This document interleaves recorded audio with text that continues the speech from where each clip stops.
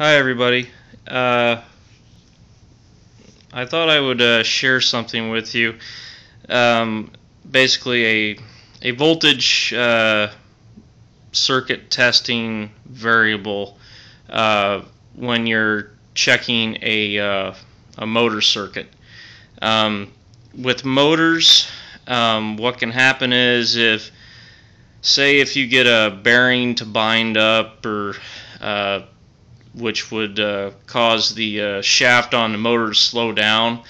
It basically happen what the what basically happens is the uh, the counter electromotive force goes down on the motor, so it produces less back voltage. So then, uh, when that happens, more current is able to go through the motor. Thus, when you have more current go through the motor, you have more of a voltage drop.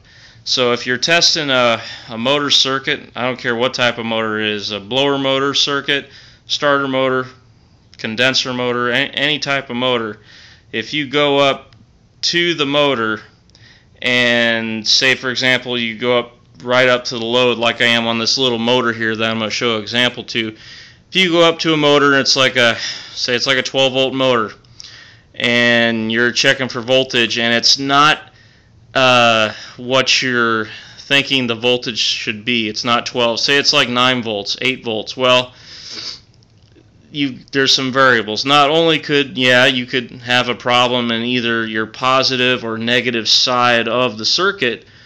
Uh, you could have that problem, but also you could have a problem with the motor. The bearings could be going bad, causing the shaft to not uh, causing the shaft to not to be able to turn fast enough. Okay, so less back voltage, then you're able to have more current flow through, and then uh, you have less resistance. Ohm's law, more current flow, and more current flow means more voltage drop.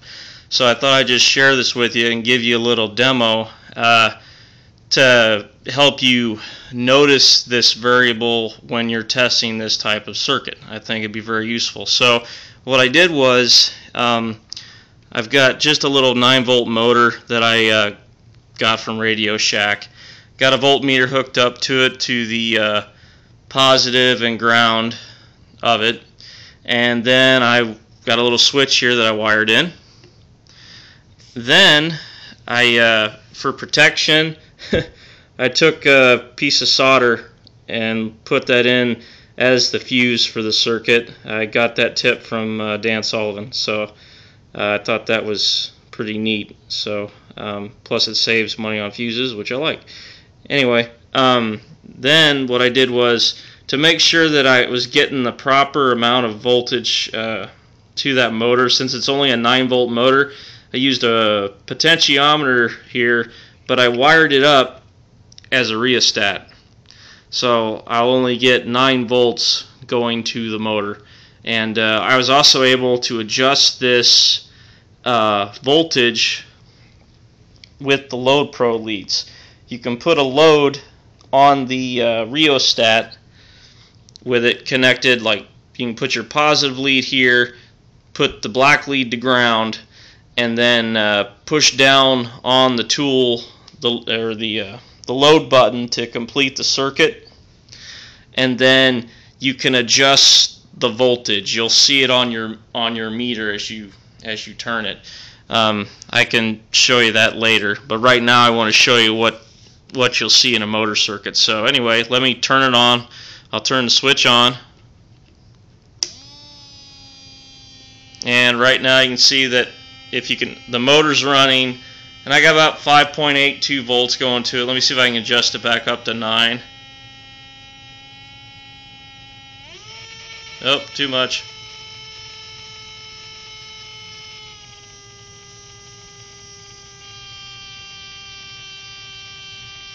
There we go. I'm at 8.9 volts. So you can hear the speed. You can see the voltage uh, going to the motor. Now, Watch uh, the voltmeter as I put my finger on the shaft and slow the motor down.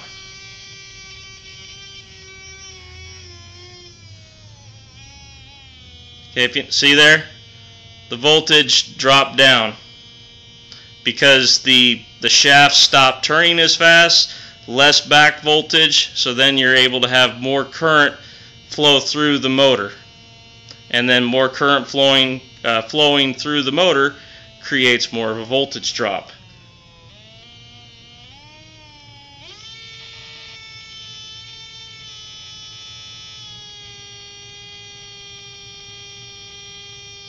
So there we go. Then I got it back up to what it's supposed to be.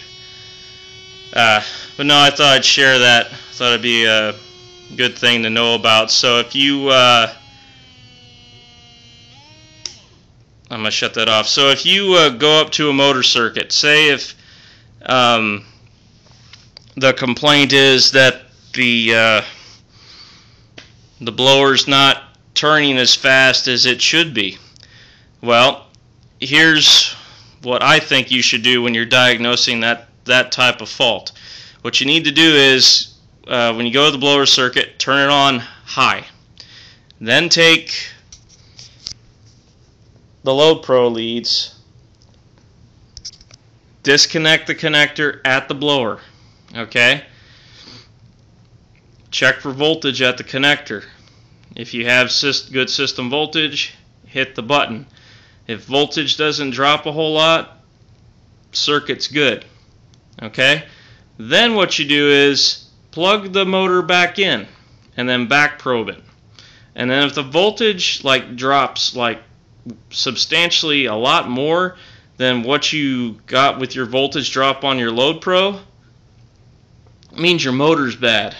So um, that's just some that's a trick that I've learned over the years with that when you're diagnosing a motor circuit because the thing is um, with a motor like I said before if it slows down uh, less back voltage more current flow more current flow means more voltage drop so if you leave it uh, the motor plugged into the circuit and you're testing for voltage and you notice that the voltage is way lower, then you're thinking, okay, I've got a couple variables here. You know, I either have resistance, I could have resistance in my positive side, or I could have resistance in my ground side, which you could, and you'll have to make those checks. But another uh, thing to think about is if you're uh, if the voltage drop at the positive terminal of the motor is the same as the drop at the fuse connection to the motor. If it's exactly the same and the drop is the same, you know, also on the ground, then that's also another indication that your motor's going bad. Okay. Um, like I said, that's a lot of extra steps, and uh, from my experience with using these, it's a lot faster. You just disconnect the connector at the load, load the circuit. If it don't drop, and if you've got poor performance out of your motor, the motor's bad. You're done. You don't have to go all the way to the fuse and check there, and then double check your uh, your ground. You don't have to do all of that. You don't have to do any of that. You just check at the load component, disconnected. If it don't drop, you're good. Replace the motor. You're done. Um, and then uh, if you want to, you could also verify by uh, putting an amp clamp around the uh, one of the wires or an amp meter in series to the motor and check your current flow. Um, I do that too, but by using these leads in that process, it's a lot faster and a lot less time. I've done it a million times. It speeds up your diagnostic uh, a lot faster. So anyway, thought I'd show that uh, to you, and uh, hopefully I'll have some more videos later. So thanks a lot. Bye.